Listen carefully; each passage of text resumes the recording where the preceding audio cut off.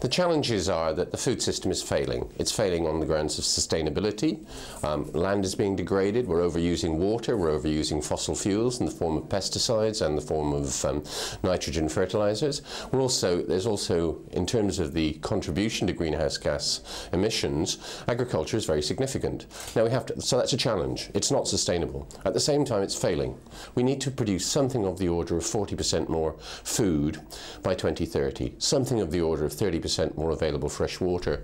And we need clean energy because the demand for energy is going up. There's one and a half billion people who have no access to um, electricity. But if we're looking to the future and if we're thinking about the way that climate change is predicted to happen, water is going to be a problem that we'll, we'll have to address very soon. And it, of course, is intimately linked to the, food, to the problem of food. There's been a myopia. We've been not, we have not been far-sighted.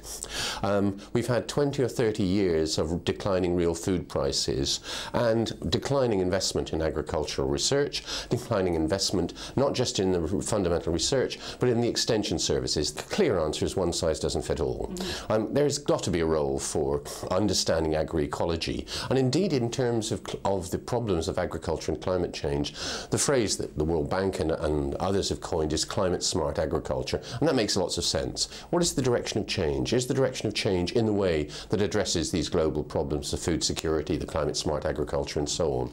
The detail is complex.